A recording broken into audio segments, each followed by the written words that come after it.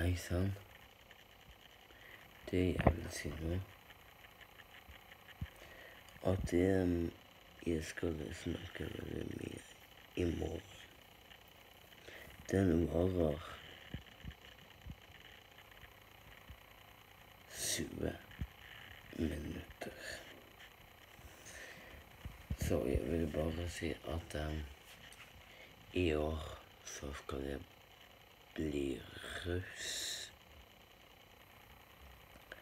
Men så skal jeg bare gimple på. Men jeg vil bare si at jeg skal slippe med en ny video i morgen. Inn I neste uke så skal jeg slippe en låt. I neste uke da skal jeg bli sanger.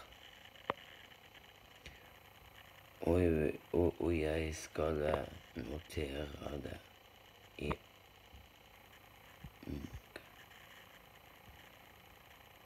Så det skal jeg notere. Og det.